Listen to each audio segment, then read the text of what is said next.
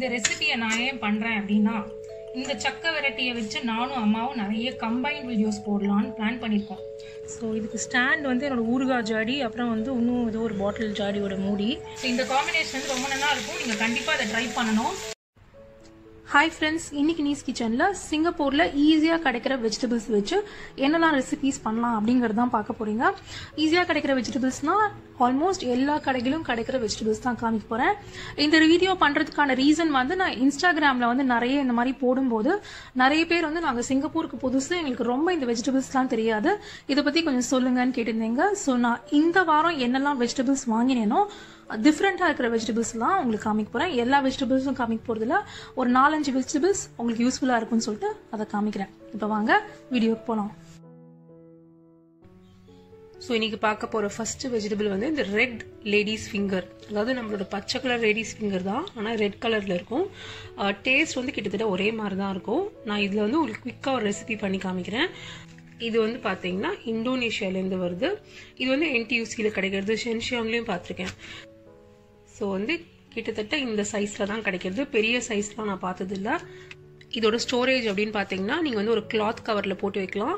இல்லாட்டி நீங்கள் இதுலேயே போட்டு வச்சாலும் ஃபோர் டேஸ் வரைக்கும் நல்லாயிருக்கு ஸோ இப்படியும் யூஸ் பண்ணலாம். இல்லாட்டி கிளாத் கவர்லேயும் போட்டு வைக்கலாம். நான் வந்து கார்த்தால் தான் வாங்கின்னு வந்தேன். அதனால நான் வந்து பிரிக்கல. ஸ்ட்ரெயிட்டாக அப்படியே குக் பண்ண போகிறேன் அண்ட் உங்களுக்கு டிஃப்ரென்ஸ் தெரியணும் அப்படிங்கிறதுக்காக நான் இந்த ரெட் லேடிஸ் ஃபிங்கர் அப்புறம் நம்ம இந்தியன் லேடிஸ் ஃபிங்கர் இது ரெண்டுத்தையும் மிக்ஸ் பண்ணி குக் பண்ணி காமிக்கிறேன். உங்களுக்கு ரெண்டு டிஃப்ரென்ஸும் பார்க்கும்போது தெரியும். நிறைய பேர் வந்து கட் பண்ணும்போது குழைய குழைய ஆறுதுன்னு சொல்லிட்டு எனக்கு இன்ஸ்டாகிராமில் டவுட்ஸ் கேட்டிருக்கேன். ஸோ நான் என்ன பண்ணுவேன் அப்படின்னா இந்த வெண்டைக்காய் வந்து தண்ணியில் வந்து டுவெண்ட்டி ஃபைவ் மினிட்ஸ் போட்டுவிட்டு நல்லா வாஷ் பண்ணிடுவேன். ஸோ நான் டுவெண்ட்டி ஃபைவ் மினிட்ஸ்க்கு வந்து இங்கே ஊற விட்டேன். ஸோ இப்போ இது எல்லாத்தையும் எடுத்து எந்த வெண்டைக்காவாக இருந்தாலும் இந்த ஸ்டெப் தான் நீங்கள் பண்ணணும். இந்த மாதிரி ஒரு துணியில் நம்ம வந்து உணர்த்தணும். ஸோ தண்ணி எல்லாம் ஃபுல்லாக போகணும். ஸோ இந்த மாதிரி போட்டுடுங்க.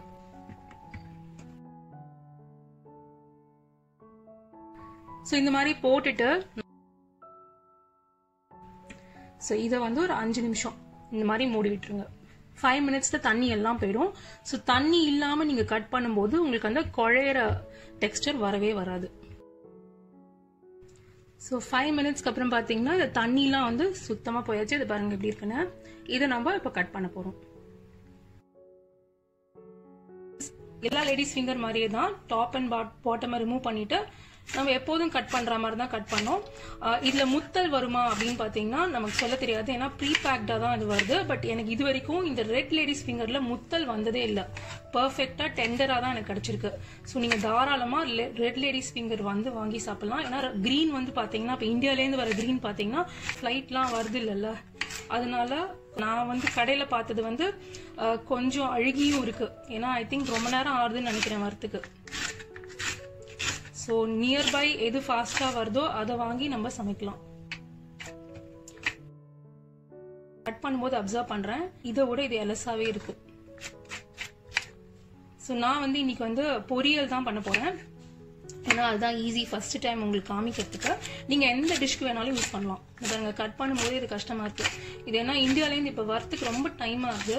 ப்ராசஸும் ரொம்ப நிறைய போல் இருக்கு. அதனால கொஞ்ச நாளைக்கு இங்கே கிடைக்கிறத வச்சே நம்ம யூஸ் பண்ண வேண்டியதான் ஸோ பேன் நல்லா சூடானதுக்கப்புறம் நான் வந்து தேங்காய் எண்ணெய் விடுறேன். ரெண்டு டீஸ்பூன் தேங்காய் எண்ணெய் ஃபர்ஸ்ட் விட்டுக்கிறேன். அடுத்து காமன் டவுட் எங்கிட்ட கேட்கறது வந்து பூண்டு. ஸோ இங்கே வந்து இப்போ இந்த மாதிரி பூண்டு தான் கிடைக்கிறது. இது வந்து கொஞ்சம் பெரிய பூண்டு பல்லு. ஸோ ஒரு பல்லோட சைஸ் பார்த்தீங்கன்னா இப்படி தான் இருக்கு. ஸோ நீங்கள் இதையும் தாராளமாக யூஸ் பண்ணலாம். Uh, மேபி குவான்டிட்டி வந்து இது கொஞ்சம் ஜாஸ்தி. ஸோ வந்து ஒரு சின்ன பூண்டு பல்லுக்கு இது வந்து ரெண்டு பல்லுக்கு கணக்குது ஸோ எண்ணெய் நல்லா இப்போ சூடாகிடுது ஸோ நான் ஃபர்ஸ்ட் இதில் சோம்பு கொஞ்சம் சேர்த்துக்கிறேன். சுமாராக ஒரு ஸ்பூன் சோம்பு. சோம்பு நல்லா பொரிஞ்சதுக்கு அப்புறம் ரெண்டு பூண்டு பல்லு நான் இப்போ காமிச்ச பூண்டு பல்லு ரெண்டு குவான்டிட்டி இவ்வளோ வரும். இதை சேர்த்துக்கிறேன். அப்புறம் கொஞ்சம் கறிவேல் ஒரு வாட்டி வதக்கிட்டு இந்த சவுண்ட் வந்து கம்ப்ளீட்டாக நின்னதுக்கு அப்புறம் இந்த லேடிஸ் ஃபிங்கரை சேர்த்துற வேண்டியதான்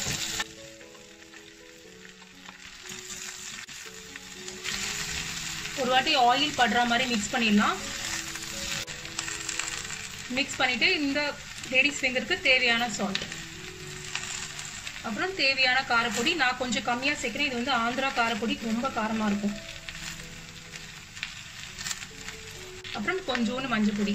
ஸோ எல்லாத்தையும் நல்லா மிக்ஸ் பண்ணிவிட்டு லோ ஃப்ளேமில் ரோஸ்ட் வர வரைக்கும் குக் பண்ணோம் கேஸ்ட் அயனில் எப்படி குக் பண்ணுங்கிற டீட்டெயில் வீடியோ நான் வந்து லேடிஸ் ஃபிங்கருக்கே போட்டிருக்கேன். நீங்கள் அதை பார்த்துக்கோங்க. இது ஜஸ்ட் ரெசிபி ரெஃபரன்ஸ்க்காக தான் சொல்கிறது ஸோ நான் பாதி குக்கிங்கில் காமிக்கிறேன். கலர் பாருங்கள் எல்லாமே க்ரீன் கலருக்கு மாறிடுது ஸோ நம்மளோட க்ரீன் இந்தியன் லேடிஸ் ஃபிங்கர் பார்த்தீங்கன்னா டார்க்கர் க்ரீனில் இருக்குது இந்த பிங்க் வந்து லைட்டர் க்ரீனுக்கு மாறி இருக்கு ஸோ இதுதான் வந்து டிஃப்ரென்ஸ் அவ்வளோதான் நம்மளோட லேடிஸ் ஃபிங்கர் ரோஸ்ட் அதாவது ரெட் லேடிஸ் ஃபிங்கர் ரோஸ்ட் முடிஞ்சுட்டு நம்ம அடுத்த வெஜிடபிளை பார்க்கலாம். மூணாவது வெஜிடபிள் வந்து பார்த்தீங்கன்னா ஆனியன் ஸோ ஆனியன் பார்த்தீங்கன்னா வந்து இங்கே ரொம்ப பெருசு பெருசாக இப்போ கிடைக்கிறது. அதனாலே சில பேர் வந்து நம்ம யோசிக்கிறோம். ஆக்சுவலி வந்து டேஸ்ட் படி பார்த்தீங்கன்னா ஒரு டிஃபரன்ஸும் கிடையாது. சைஸ் தான் ரொம்ப பெருசு. இப்போ நான் காமிக்கிறது கம்பேரிட்டிவ்லி சின்ன சின்னது. கொஞ்ச நேரம் மட்டும் எனக்கு இதோட பெருசு கூட இருந்தது. ஸோ ஆனியன் பொறுத்த மட்டும் நீங்கள் தாராளமாக பெரிய ஆனியன்ஸ் இங்கே கிடைக்கிறதுல அதை அதை வந்து நீங்கள் எவ்வளோ வேணுமோ யூஸ் பண்ணிட்டு பேலன்ஸ் வந்து கிளிங் ரேப்பில் போட்டு மூடி வச்சுருங்க. ஃபார் எக்ஸாம்பிள் எனக்கு பாதி வேணும்னா பாதி கட் பண்ணிவிட்டு பேலன்ஸை ஒரு நல்ல கிளிங் ரேப்பில் போட்டு மூடி வச்சிருங்க. கிளிங் ரேப்பில் மட்டும்தான் போட முடியும். பாக்ஸ்லாம் போட்டால் ஃப்ரிட்ஜே ஃபுல்லாக ஸ்மெல் வருது. பட் உங்களுக்கு ஸ்மால் ஆனியன்ஸ் கிடைக்காத பட்சத்தில் உங்களுக்கு இதுதான் கிடைக்கிறதுனா நீங்கள் யோசிக்காமல் அதை வாங்கலாம். டேஸ்ட் வைஸ் எந்த டிஃப்ரென்ஸும் கிடையாது. இது வந்து ஒன்றரை ஆனியனில் கட் பண்ணது. இது பாருங்கள் எவ்வளோ பெரிய பாத்திரம்? கிட்டத்தட்ட மூணு கப் இருக்கும். ஸோ அவ்வளோ பெரிய ஆனியன் எனக்கு கிடச்சிது. ஸோ கட் பண்ணினீங்கன்னா உங்களுக்கு ஒரே மாதிரி தான் இருக்கும். உங்களுக்கு எந்த டிஃப்ரென்ஸும் இல்லை. கொஞ்சம் கலர் வந்து ஜாஸ்தி இருக்கும். அவ்வளோதான் மற்றபடி நீங்கள் ரெகுலராக ஆனியன்ஸ் யூஸ் பண்ணுற டிஷ்ஷஸ்க்கே இதை யூஸ் பண்ணலாம். நெக்ஸ்ட் வந்து என்னோட இன்ஸ்டாகிராமில் மோஸ்ட் ரிக்வெஸ்டட் அம்மாவோட சக்க வெரைட்டி பார்த்ததுக்கப்புறம் நிறைய பேர் வந்து சிங்கப்பூரில் சிங்கப்பூர்ல இருக்கவங்க நிறைய பேர் வந்து இங்க இருக்கிற எந்த ஜாக் ஃப்ரூட்ல நல்லா இருக்கும்னு கேட்டிருந்தீங்க. நான் வந்து இன்னைக்கு வந்து இந்த ரெண்டு வெரைட்டி நான் யூஸ்வலா இந்த ரெண்டு வெரைட்டி தான் வாங்குவேன். ஸோ இந்த ரெண்டு வெரைட்டியும் மிக்ஸ் பண்ணி நான் வந்து சக்க வெரைட்டி பண்ண போறேன். ஸோ இப்படிதான் இருக்கு.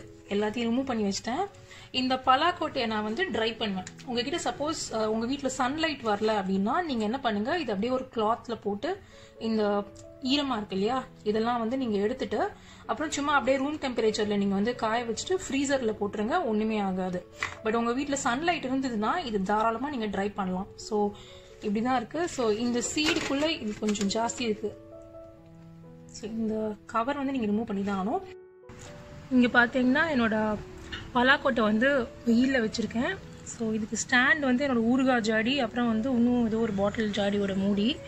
ஸோ இந்த மாதிரி காய வைக்கிறதுக்கு எனக்கு சுமாராக தான் வெயில் வரும். எனக்கு ஆக்சுவலி இது வந்து ஒரு ஏழு எட்டு நாள் ஆகும் காயறதுக்கு. அண்ட் ஸ்வீட்னஸ் பார்த்தீங்கன்னா கண்டிப்பாக நம்ம இந்தியாவில் கிடைக்கிற ஜாக் ஃப்ரூட்டோட இது கம்மி ஸ்வீட் தான். ஸோ அதனால உங்கள் வெள்ளத்தோட குவான்டிட்டியை நீங்கள் கண்டிப்பாக இன்க்ரீஸ் பண்ணி தான் ஆகணும். ஸோ ஃபர்ஸ்ட் டைம் மேபி அம்மா சொல்லி கொடுத்த மாதிரி நீங்கள் வந்து அதே மெஷர்மெண்ட் போட்டு பாருங்க. அதாவது நாலு கப்பு பலாப்பழத்துக்கு ஒன்றரை கப்பு வெல்லம் அம்மா போட்டிருப்பா. நீங்கள் அதே மெஷர்மெண்ட் போட்டு பாருங்க. உங்களுக்கு ஓகேனா நீங்கள் அதை கன்டினியூ பண்ணுங்க. அப்படி இல்லைன்னா நீங்கள் வந்து இன்க்ரீஸ் பண்ணிக்கோங்க. நெக்ஸ்ட் வந்து வெல்லம் இப்போ வந்து வெல்லம் வந்து பக்கத்தில் கிடைக்கிற வெல்லம் நான் சொல்கிறேன் எங்கள் வீட்டு பக்கத்தில் கிடைக்கிறது வந்து இந்த இந்த பாம் ஜாகரி தான். ஸோ இப்படி தான் இருக்கும். எல்லா ஷாப்ஸ்லையும் கிடைக்கும். எல்லா கிராசரி ஷாப்ஸ்லையும் கிடைக்கும். ரொம்ப டேஸ்டியா இருக்கும். முக்கியமா இதுல கல்லே இருக்காது. இங்க கிடைக்கிற இந்த மாதிரி கிடைக்கிறதுல எதுலையுமே கல் இருக்காது மண் இருக்காது. அதனால நீங்க வந்து ஸ்ட்ரெயிட்டா நீங்க அப்படியே கொட்டிடலாம். வடிகட் வடிகட்டாம அண்ட் uh, வெள்ளத்தை எப்படி ஸ்டோர் பண்ணணும்? லாங் டேர்ம்க்குன்னு நான் ஒரு வீடியோ போட்டிருக்கேன். Um, ஸோ இங்கே பார்த்தீங்கன்னா இங்கே இந்த வீடியோ தான். அந்த ஸ்டெப்ஸை நீங்கள் ஃபாலோ பண்ணீங்கன்னா உங்களுக்கு வெள்ளம் வந்து ரொம்ப லாங் டேர்ம்க்கு இருக்கும். சக்கை வெரைட்டிக்கு எல்லாம் ரெடி பண்ணிட்டேன். இது வந்து நாலு கப்பு இது வந்து ஒரு கப்பு நான் ரொம்ப ஜா- ஜாகரி சேர்க்க போகிறதில்ல மற்றபடி அந்த வீடியோவில் பண்ணால் அதே ஸ்டெப்ஸ் தான். வேற எந்த சேஞ்சும் கிடையாது. நான் மொத்தமாக பண்ணிட்டு உங்களுக்கு கடைசியாக காமிக்கிறேன். ஸோ வீடியோ லிங்க் வந்து நான் வந்து டிஸ்கிரிப்ஷனில் கொடுத்துட்றேன் அதே மாதிரி மேலே இந்த கார்ட்ஸ்லையும் கொடுத்துட்றேன்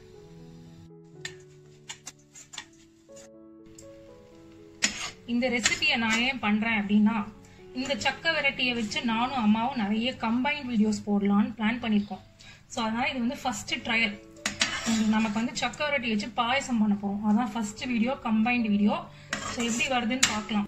ஸோ நம்ம சக்க வெரைட்டியும் ரெடி நம்ம நெக்ஸ்ட் பார்க்க போகிற ரெசிபி வந்து ஸ்வீட் பொட்டேட்டோ இங்கே வந்து நிறைய வெரைட்டிஸ் ஆஃப் ஸ்வீட் பொட்டேட்டோ கிடைக்கும். அண்ட் இந்தியாவிலேருந்தும் வரும். பட் வந்து நான் வந்து இங்கே வா இங்க கிடைக்கிறத நான் வாங்குறது. பிகாஸ் வந்து எனக்கு பழகி போச்சு அந்த மாதிரி.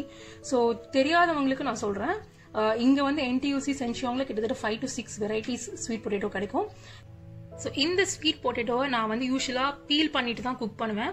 Uh, அம்மா வந்து சென்னையில் வந்து இந்த ஸ்கின்னோடே போடுவா பட் நான் பீல் பண்ணிட்டு தான் குக் பண்ணுவேன். ஸோ பீல் பண்ணதுக்கப்புறம் இந்த மாதிரி தண்ணியில் கொஞ்சம் சால்ட் போட்டு நீங்கள் வந்து இந்த மாதிரி விட்டிங்கன்னா uh, கருக்காது கருக்காது. அண்ட் இந்த மாதிரி தண்ணியில் போடுறதுனால இந்த மேலோட்டமாக இருக்கிற ஸ்டார்ச்சும் கொஞ்சம் போயிடும். ஸோ இதுதான் நான் எப்போதும் பண்ணுறது ஸோ இதை பீல் பண்ணி உங்களுக்கு காமிக்கிறேன். ஆக்சுவலி இங்கே நிறைய வெரைட்டிஸ் ஆஃப் ஸ்வீட் பொட்டேட்டோ இருக்கு. அதில் வந்து ஆரஞ்ச் ஸ்வீட் பொட்டேட்டோ அப்படிங்கிறது வந்து ரொம்ப மைல்டு ஸ்வீட் ஸோ வந்து ஸ்வீட் ரொம்ப பிடிக்காதவங்க ஆரஞ்ச் ஸ்வீட் பொட்டேட்டோ வாங்கி சாப்பிடலாம். ஸோ இதெல்லாம் வந்து கிட்டத்தட்ட இந்தியாவில் இருக்கிற மாதிரியே தான் வந்து ஸ்வீட்டாக இருக்கும். ஸோ இந்த மாதிரி ஃபுல்லாக பீல் பண்ணி முடிச்சிட்டேன். இது கட் பண்ணிட்டு ஸ்டீம் பண்ணோம் கண்டிப்பாக ஸ்டீம் பண்ணோம் அப்படியே போட்டிங்கன்னா வந்து கொஞ்சம் ஹார்டாக இருக்கும். ஸ்டீம் பண்ணிட்டு தான் குக் பண்ணோம் ஸோ ஸோ நான் எல்லாத்தையும் கட் பண்ணிட்டேன். ஸோ இந்த சைஸ்க்கு தான் கட் பண்ணியிருக்கேன் இப்போ நான் ஸ்டீமரில் போட்டு ஸ்டீம் பண்ணிவிட்டு உங்களுக்கு காமிக்கிறேன். ஸ்வீட் பொட்டேட்டோ பொறுத்த மட்டும் நம்ம கரெக்டாக இந்த சைஸ் ஸ்வீட் பொட்டேட்டோக்கு எட்டு நிமிஷம் தான் ஸ்டீம் பண்ணோம். அதுக்கு மேலே ஸ்டீம் பண்ணால் குழஞ்சிரும். ஸ்வீட் பொட்டேட்டோவை எட்டு நிமிஷத்துக்கு இந்த மாதிரி வேக வச்சு எடுத்துட்டேன் ஸோ இப்படி தான் இருக்கும். இப்போ நான் உங்களுக்கு வந்து ஒரு பீஸ் உடச்சி காமிக்கிறேன். கொஞ்சம் ஹார்டாக இருக்கும். அட் சேம் டைம் குக் ஆகிருக்கும் இதுதான் வந்து கரெக்டான பதம் ஸ்வீட் பொட்டேட்டோ குக் பண்ணுறதுக்கு ஸோ இந்த ஸ்வீட் பொட்டேட்டோ பொரியல் செய்யறதுக்கு ஒரு ரெண்டு டீஸ்பூன் தேங்காய் எண்ணெய் விட்டுக்கிறேன். எண்ணெய் நல்லா சூடாயாச்சு இப்போ வந்து கடுகு சேர்க்குறேன். கடுகு வெடிச்சதுக்கப்புறம் ஒரு டீஸ்பூன் உளுத்தம்பருப்பு அப்புறம் கொஞ்சம் கருவேப்பிலை. நல்லா மிக்ஸ் பண்ணிட்டு இதில் இந்த ஸ்வீட் பொட்டேட்டோவை சேர்த்துட வேண்டியதான்